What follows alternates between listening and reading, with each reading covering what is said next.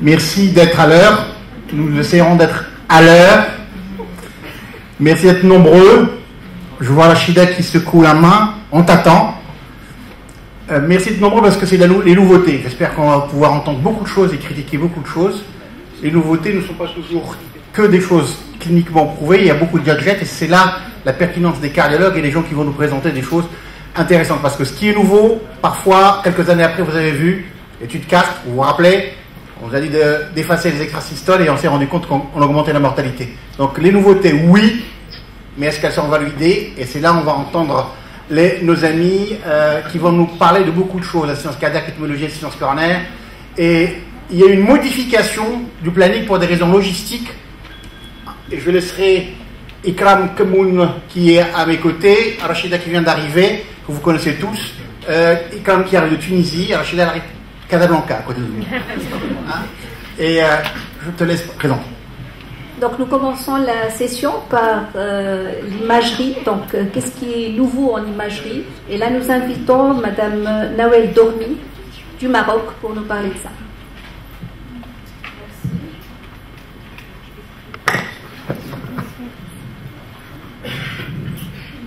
Ça fait plaisir d'avoir la salle remplie. Donc ça veut dire que nos efforts vont être entendus par euh, les personnes présentes. Donc là, je vais vous présenter ce qui se passe en IRM. Comme vous savez, l'IRM cardiaque a pris, euh, beaucoup de, développement ces deux dernières décades. Au Maroc, et ces techniques, on la pratique depuis bientôt une dizaine d'années ou déjà dix ans. Tout ça, ça ne nous rajeunit pas du tout. Alors, l'IRM cardiaque, comme vous le savez, c'est un examen qui permet l'étude euh, en ciné et l'avantage c'est que vous avez une très bonne visibilité, une bonne interface entre le sang et le muscle, donc vous pouvez très bien interpréter la cinétique segmentaire. Par les coups petits axes, on peut avoir la fraction d'éjection, les volumes de façon très fiable qui sont des, bons indicateurs pronostiques. Il y a les séquences euh, en sang noir, qui sont intéressantes pour mettre en évidence l'œdème. Il y a également les séquences de tagging, c'est-à-dire le tatouage myocardique et qui permettent euh, d'étudier la contractilité intrinsèque, c'est comme le strain. Il y a également les, séquences de perfusion au repos, à l'effort qui peuvent mettre en évidence un défaut de perfusion. Les séquences de rehaussement tardif 10 minutes après l'injection qui peuvent mettre en évidence un infarctus en étendue et donc dire euh, la viabilité. L'enjeu IRM pour voir les vaisseaux, aussi bien l'artère pulmonaire que l'aorte. L'enjeu coronaire, parfois on voit les naissances des artères coronaires, on en a besoin dans certaines cardiomyopathies dilatées, surtout chez le sujet jeune pour voir une anomalie de naissance. Enfin, le contraste de phase, on le fait surtout pour les fuites pulmonaires où on a du mal à les chiffrer, surtout en échocardiographie, et on a après le volume régurgité, on peut dire si cette fuite pulmonaire est importante ou pas. Voilà l'état de ce qu'on fait actuellement au Maroc. Alors, quelles sont les nouveautés?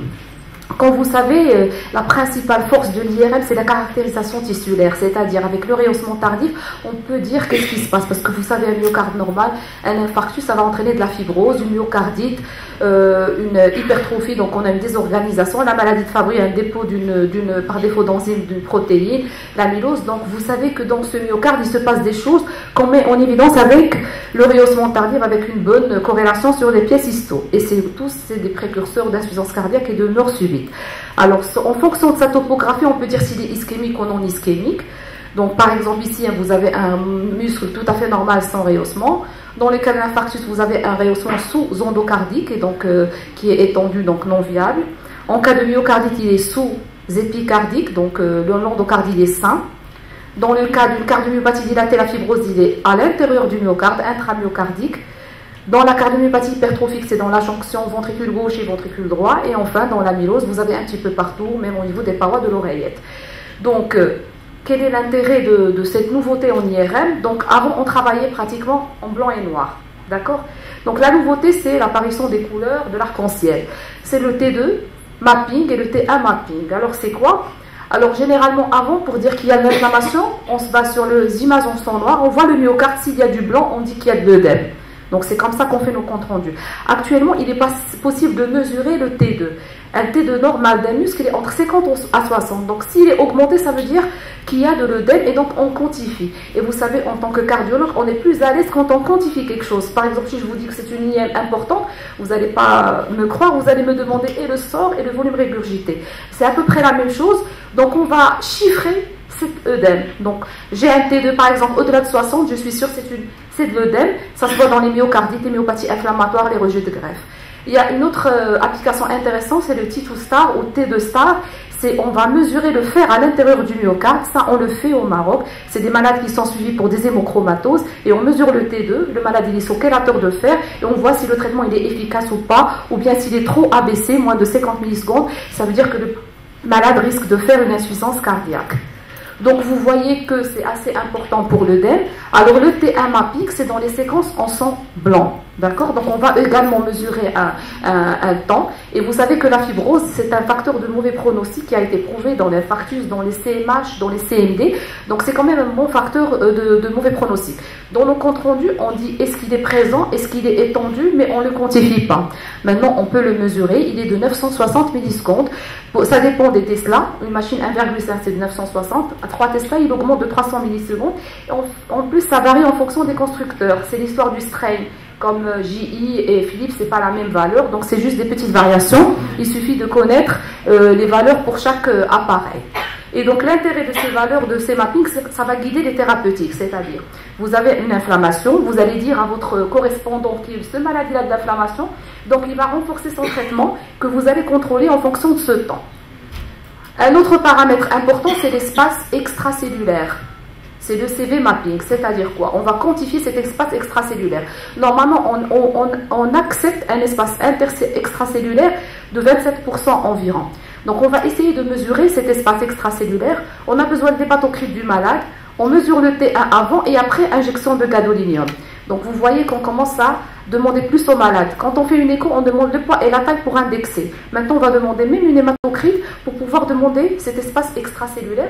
C'est l'équivalent de, la fibrose, mais beaucoup plus interstitiel. Parfois, le rehaussement ne montre rien et les le malade, il n'a pas de rehaussement, mais en fait, il a de la fibrose qui est microscopique. Je vous montre ce papier assez récent de 2016. Qu'est-ce qu'ils ont fait? Ils ont pris 40 patients qui ont des racks serrés qui vont être opérés, ils ont mesuré cet espace extracellulaire avant l'intervention. Au moment de l'intervention, le chirurgien, il a remplacé la vague, en même temps, il a fait une biopsie au niveau du septum. Ils ont comparé les malades avec l'anapathe et ce qu'ils ont trouvé.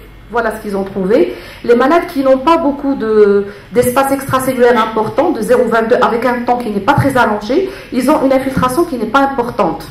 Alors que les patients qui ont un temps qui est très allongé, un mapping T1, un espace extracellulaire de 0,41, ils ont une infiltration beaucoup plus sévère.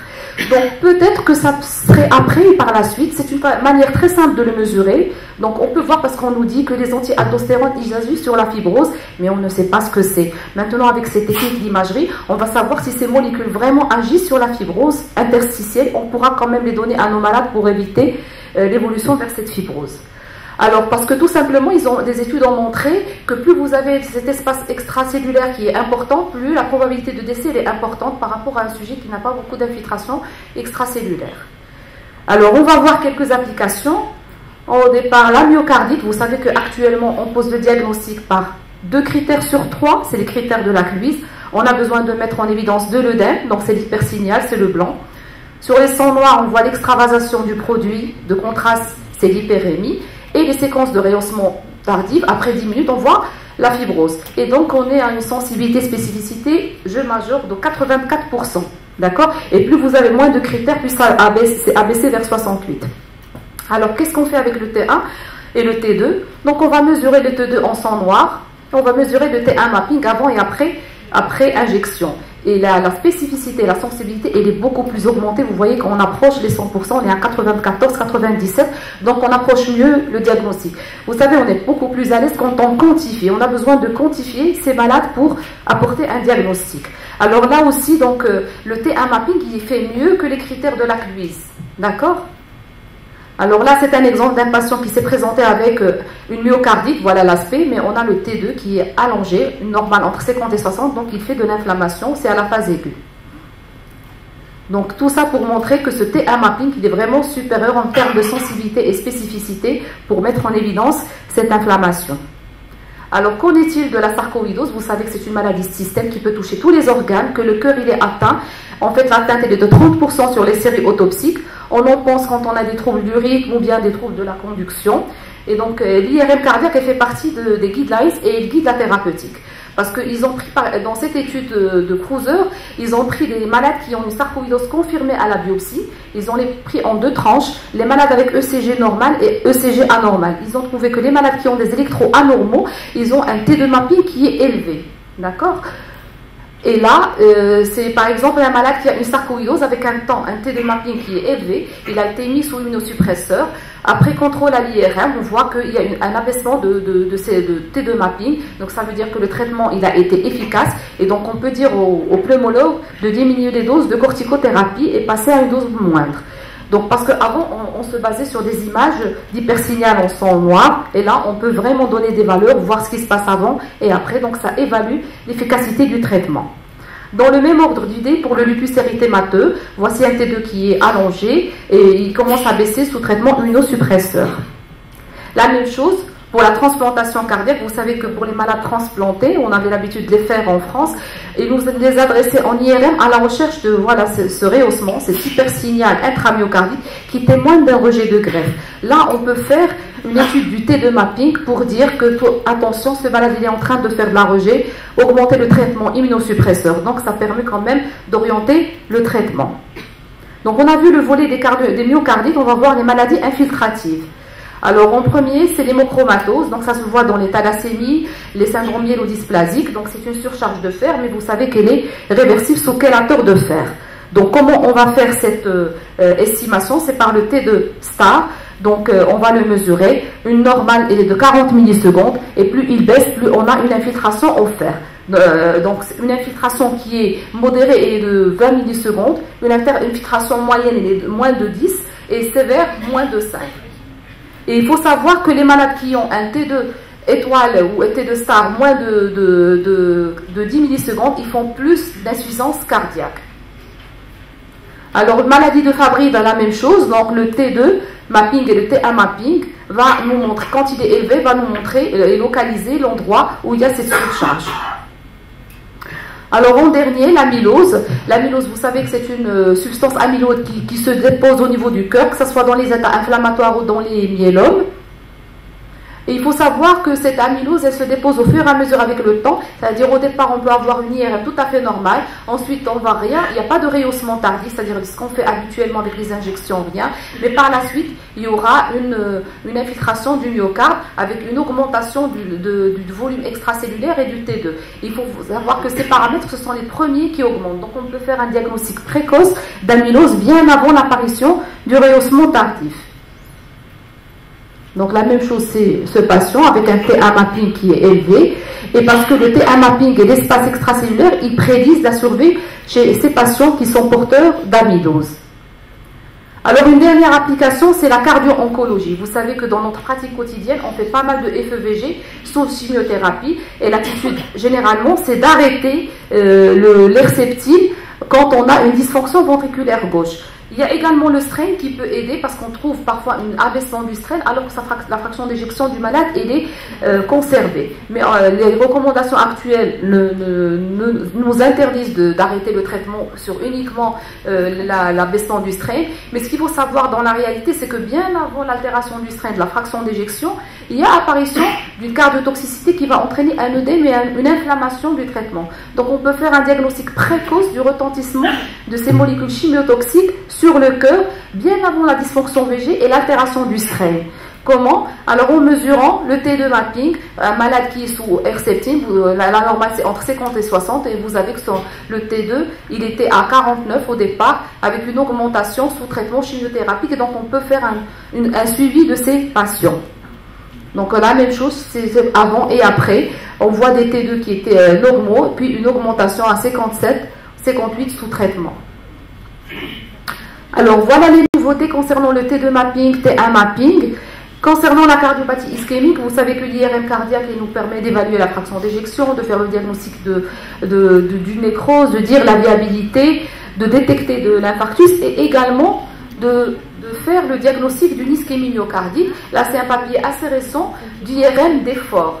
Mais tout ça, il faut retenir à l'esprit qu'il faut avoir du matériel amagnétique. C'est-à-dire le tapis roulant ne doit pas être, euh, euh, en fer. C'est des substances qui doivent être amagnétiques. Donc le malade fait son, son exercice et il lui faut 20 secondes environ, on le rallonge, on injecte le gadolinium et on prend les différentes séquences. On a pris au repos, à l'effort, puis à la récupération, avec une excellente concordance avec la scintigraphie. Alors l'avènement, ce sont des, comme les pédaliers d'écho d'effort, ils existent dans l'enceinte d'IRM qui est intégrée avec la table d'IRM et une sorte de pédalier et vous voyez qu'il est totalement amagnétique.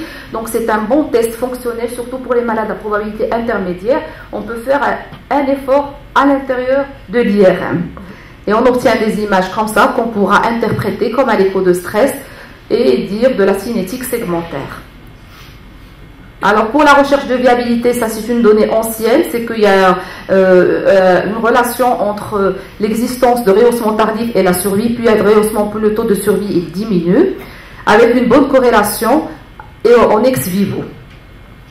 Alors la cardiomyopathie dilatée, je vous ai dit, ça diffère avec la cardio ischémique dans la topographie du rehaussement tardif qui est intramyocardique. Et plus il y a ce, sur des papiers anciens, plus vous avez du rehaussement tardif, plus il y a un mauvais pronostic du patient. Là, c'est une étude assez récente qui montre que cette fibrose est associée à une mortalité et un taux de mort subite qui n'est pas négligeable. Alors, qu'est-ce qui se passe? Quand on en trouve, ce rehaussement, c'est ce qu'on trouve habituellement dans les CND et ça, ça, correspond à de la fibrose sur des pièces histologiques. Mais parfois, on a, on a souvent des malades qui sont comme ça. On dit au, euh, au médecin traitant, tranquillisez-vous, il n'y a pas de rehaussement tardif. Mais en fait, euh, c'est de la fibrose interstitielle microscopique. Et là, on voit l'intérêt du T1 et du T2 mapping. Quand ils sont allongés, ça veut dire qu'il y a cette fibrose, mais seulement elle va réapparaître dans le temps, mais elle est là. D'accord? Alors, euh, donc là, c'est une étude euh, assez récente qui montre qu'il y a une lésion, euh, qu'il y a une relation entre cette fibrose qui est mise en évidence inframicroscopique par le T1 et la mortalité chez les patients porteurs de CMD non ischémiques. Alors, la cardiomyopathie hypertrophique, alors, vous savez que l'IRM nous permet de faire la, la, forme anatomique et il y a toujours une controverse sur le rehaussement tardif qu'on trouve à l'IRM il y a des études qui montrent une relation entre cette fibrose, la mort subite et autres, parce qu'un petit foyer, il peut déclencher des arythmies. Mais en fait, les dernières recommandations, ils n'intègrent pas l'IRM dans les guidelines, dans les stratifications pronostiques. Euh, euh, en fait, même si on a le, le, TA mapping, on peut mettre en évidence cette fibrose interstitielle. Il y a des études qui ont montré qu'il y a une relation entre l'étendue de ce rehaussement et le risque de mort subite, surtout quand il est étendu de plus de 25% il y a une dernière analyse euh, de, 2016 qui a regroupé, méta-analyse qui a regroupé quatre études de plus de 1000 patients.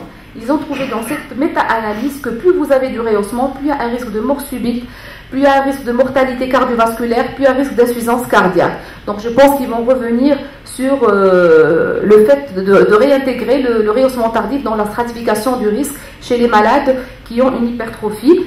De même, euh, il y a, euh, chez ces malades, il y a une relation, euh, le TA mapping et l'estimation du volume extracellulaire, il est beaucoup plus sensible et, spécifique pour déterminer cette fibrose. Alors, euh, vous savez que le strain, on peut le faire en IRM, c'est la même chose. Le temps. Ah Pratiquement, j'ai terminé. Donc, on peut faire l'estimation du strain, le strain longitudinal, radial et circonférentiel. On peut faire même de la diffusion, c'est une restructuration des fibres, on voit une restructuration anarchique euh, à l'IRM, on peut reproduire ce qui se passe au niveau de la fibre myocardique. Je termine par l'étude des vaisseaux. Généralement, on nous adresse les patients pour, faire, pour estimer le volume régurgité. On les adresse pour une enjeu IRM pour dire des diamètres, mais vous savez, diamètre de l'aorte risque de dissection à partir d'un certain diamètre, 50 mm, 45. Mais en fait, c'est beaucoup plus, euh, plus recherché. Il y a actuellement le 4D flow. Ça veut dire quoi? C'est le, le, sang dans les, trois, dans les trois dimensions de l'espace associé à une vitesse. On voit ici un flux laminaire et là un flux turbulent. Dans une voie pulmonaire normale, en cas d'HTAP et de la turbulence, et on a remarqué que dans les zones où il y a cette turbulence, il y a une altération de muscles squelettiques qui se voit dans du muscle de la, muscles lisses, qui se voit dans les bicuspidies. Et à partir de ces quatre déflots, on peut mesurer la contrainte parétale. Ne me demandez pas, la formule est très compliquée. Mais à chaque fois qu'il y a une augmentation du wall motion stress, ça veut dire que c'est des zones à risque. Peut-être qu'après, dans l'avenir, à partir de wall motion stress, on va dire que cette zone, elle est à risque de faire des dissections, beaucoup plus que de diamètre, parce qu'on va Vous montrer allez la zone. conclure, s'il vous plaît? Oui, juste IRM interventionnel pour vous faire rêver. Alors, vous savez que les rayons, ça entraîne des irradiations aussi pour l'opérateur que pour les enfants. Et donc, on a besoin d'une imagerie pour faire, surtout en électrophysiologie, ça se fait. Et c'est un couplage entre l'IRM et le cathétérisme, parce qu'on a besoin d'une belle imagerie pour faire un stent lors d'une coartation. Et il faut juste un device qui soit compatible en IRM. Donc, l'état actuel, c'est avant ce qu'on faisait. Actuellement, c'est la couleur, le T1 mapping, le T2 mapping, le stray et l'interventionnel. Je vous remercie. C'est un excellent exposé, exhaustif, qui nous permettra pas malheureusement de poser des questions.